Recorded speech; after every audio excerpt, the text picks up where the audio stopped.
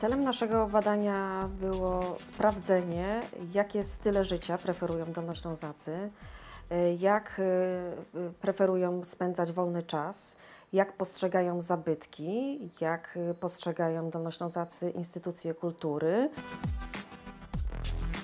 Żyjemy w czasach takiej większej refleksyjności, czyli mówiąc wprost, Nieciekawie to dla nas wygląda, bo nie wiemy, e, co będziemy robili za 5 lat, gdzie będziemy pracowali, czy będziemy dalej w związku, czy będziemy mogli wychowywać dzieci, czy też nie.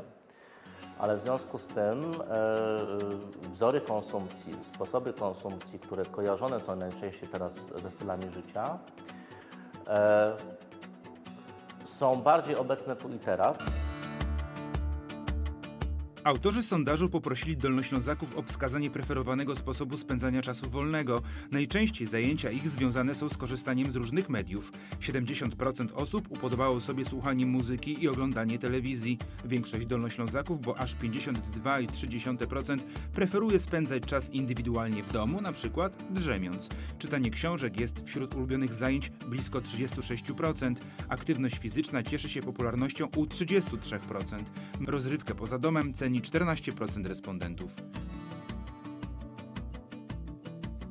Pewne style życia w ogóle są obecne przede wszystkim w mieście i że poza miastem zanikają. E, moglibyśmy to skojarzyć z uczestnictwem w niektórych subkulturach ale też przecież najnowsze odkrycie, y, y, czyli bycie hipsterem, jest przecież zjawiskiem e, typowo miejskim i poza miastem e, zanika. A socjologowie podkreślają, że to jest związane z samym systemem konsumpcji, ze specyfiką tego systemu konsumpcji, który jest związany z okazjami, jakie miasto dostarcza. Miasto jest tym bowiem miejscem, w którym, w którym o te okazje najłatwiej. W jaki sposób mieszkańcy województwa dolnośląskiego spędzają czas wolny od pracy, w tym urlopy, wakacje? Okazuje się, że 41% w 2013 roku nie spędzało poza domem więcej niż 7 dni, ani też takich wyjazdów nie planuje. 12,5% ma takie wypoczątkowe wyjazdy w planach, bowiem wcześniej nie wyjeżdżało. Na prośbę o wskazanie powodów braku wyjazdu w 2013 roku na brak pieniędzy wskazuje blisko 48% ankietowanych.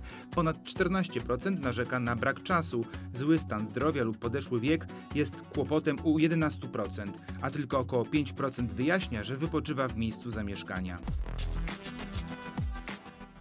Kultura czasu wolnego yy, to też jest kultura. Właśnie nawet teraz powiedziałem nomen omen, kultura E, I mm, to, że mieszkańcy, nie wiem, uczestniczą w festynie albo idą do kina lub siadają przed telewizorem, może owszem, czasami oglądając jakieś seriale, ale innym razem wartościowy program. To też jest e, forma spędzania czasu wolnego, a jednocześnie coś, co jest w szeroko rozumianej kulturze. Trzy czwarte badanych dolnoślązaków deklaruje, że ma hobby, które wpływa na spędzanie czasu wolnego. Naukowcy ustalili więc, które z nich cieszy się największym zainteresowaniem. Pierwsze miejsce w sondażowym rankingu zajął sport, który zgromadził 16%. Respondenci wolą go niż pielęgnowanie ogrodu. Niżej plasowały się czytanie książek i literatura. Mniejszą popularnością cieszyły się muzyka oraz taniec. Motoryzację wskazało blisko 5%, to więcej niż rzeźbę i malarstwo oraz komputery. Rozwiązywanie krzyżówek wygrało ze zdrowiem i urodą. Zestawienie zamyka malarstwo wynikiem poniżej 1%.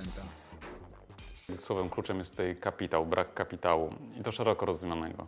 Nie tylko ekonomicznego, co się pojawia w tym raporcie, że ludzie najzwyczajniej w świecie nie mają pieniędzy na to, aby e, pójść do opery czy mm, do filharmonii. Kapitał społeczny to kapitał e, kulturowy. Jeżeli ja nie mam w swojej, mówiąc już tak bardzo uczenie, dyspozycji, potrzeby do tego, aby uczestniczyć w kulturze wyższej, e, no to tego nie będę szukał. To jest jakby oczywiste. Z badań przeprowadzonych przez CEBOS w 2010 roku wynika, że aż 25% Polaków miało problem ze znalezieniem dla siebie czasu wolnego. Jak to dziś wygląda na Dolnym Śląsku? Z badań aktywności wynika, że w ciągu ostatnich 12 miesięcy 75% brało udział w imprezach w centrach handlowych. Na czytanie książek znalazło czas blisko 72%. Mniej osób oglądało filmy na DVD, a jeszcze mniej wzięło udział w bezpłatnym koncercie. Muzyki na komputerze miało sposobność słuchać 62%. W dyskotekach i zabawach respondenci uczestniczyli częściej niż brali udział w wydarzeniach sportowych albo zwiedzali muzea i bawili się na płatnych koncertach. 20% znalazło czas, aby odwiedzić galerię sztuki. Swą twórczość w internecie umieszcza co dziesiąty respondent. Takich osób jest i tak więcej niż tych, które biorą udział w kółkach zainteresowań. Czasami wydarzenie, które absolutnie nie spotyka się z uznaniem krytyków, specjalistów z danej dziedziny, e, przyciąga setki tysięcy osób lub nawet czasami e, na koncertach zdarzają się miliony osób. Dlaczego tak się dzieje? Zwykły owczy pęd. E, jak ten pęd owczy skierować w dobrym kierunku, żeby, żeby ta masa ludzi nie tylko chodziła na to, co im się wydaje, że jest dobre, ale była przekonana, że faktycznie w tym, co uczestniczy, jest wartościowe i jednocześnie wyniesie z tego koncertu lub z tego wydarzenia kulturalnego coś dla siebie i, i dla innych. Z wcześniej przeprowadzonych podobnych badań uczestnictwa Dolnoślązaków w kulturze wynika, że 66% mieszkańców naszego regionu jest zadowolonych z oferty kulturalnej. Na zadane tym razem pytanie, jakich instytucji nigdy nie odwiedzili, blisko 74% wymieniło orkiestrę i niewiele mniej wskazało filharmonię. Do operetki i opery nie wybrało się dotąd 69% respondentów. 3 czwarte nie skorzystało z oferty galerii sztuki. Około 43% nie korzysta z biblioteki. Nigdy na kinowym sensie nie była blisko 1 czwarta badanych osób. Stanowisko jest bardzo wyraźny i coraz bardziej wyraźny. Na pewno powiem coś, co jest, nie, nie będzie lubiane przez moich nawet sponsorów fundacji, ale y, sponsorzy bardzo chętnie finansują wydarzenia na wysokim poziomie i, i z kultury wysokiej, ale bardzo rzadko w nich uczestniczą. Y, dlaczego tak się dzieje?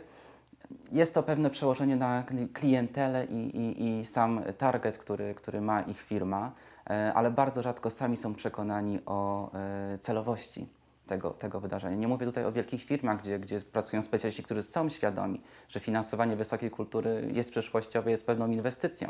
Dla Dolnoślązaków głównym partnerem kulturalnych eskapad jest rodzina. 34,7% bywa w instytucjach kulturalnych z przyjaciółmi, rzadziej z partnerem życiowym.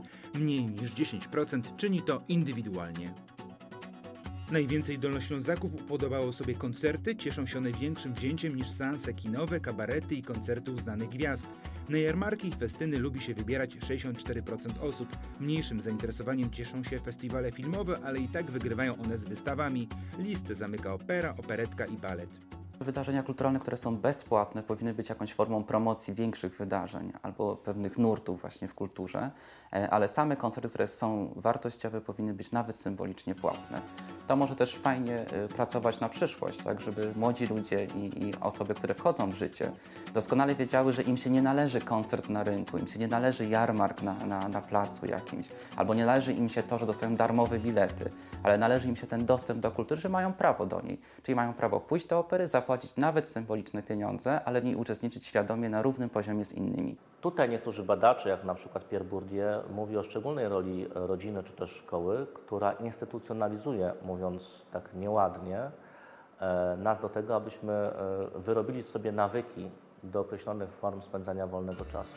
W badaniach 73,7% mieszkańców województwa dolnośląskiego deklaruje, że w ciągu 12 miesięcy przed badaniem czytali bądź przeglądali w całości lub fragmencie książki dla przyjemności. Na pytanie, ile książek posiadasz w domu, ponad 3 czwarte osób wskazało, że ma ich mniej niż 100. U ponad 18% domowe zbiory sięgają 500 pozycji. Książek w ogóle nie posiada 8% dolnoślązaków, a ponad 7% zgromadziła w swoim domu ponad pół tysiąca książek. Trzeba tu odróżnić wartości e, uznawane od wartości realizowanych. Te wartości uznawane, które e, określają często nasze aspiracje. W przypadku e, kultury i włączanych w to form spędzania wolnego czasu, są świadectwem naszych aspiracji, są takimi cechami charakterystycznymi, które chcielibyśmy sobie przypisać w sytuacji, kiedy prezentujemy się wobec innych. Naukowców interesowały nawyki żywieniowe mieszkańców regionu. Ich wybory sugerują, że większość nie stosuje diety ani dla utrzymania zdrowia, ani zachowania dobrego wyglądu i sylwetki, czy też z powodów moralnych i etycznych. Dolnoślązacy y, preferują raczej kuchnię polską. E, aczkolwiek deklarują również znajomość e, różnych innych kuchni śródziemnomorskiej, azjatyckich. Ciekawą rzeczą jest, że wzrosła ilość wegetarian wśród dolnoślązaków około 3%. Natomiast zastanawiająca jest informacja, że dolnoślązacy jednak nie mają zaufania do producentów żywności ekologicznej i y, postrzegają mm, to hasło jako chwyt marketingowy producentów żywności. Większość dolnoślązaków deklaruje, że prowadzi aktywny styl życia. Blisko 43% zapewnia, że jest na bieżąco z wydarzeniami kulturalnymi. Jeszcze więcej chętnie uczestniczy w takich imprezach, a poznawanie nowych smaków ważne jest dla 61% respondentów. często koncentrujemy się na, e, na podstawowej roli zmysłów i doznań. E, Innymi słowy, e, mówimy o takich przypadkach, kiedy, kiedy konsumujemy coś, e, czego przy okazji nie kontemplujemy, albo nie jesteśmy zmuszeni do tego, żeby to kontemplować.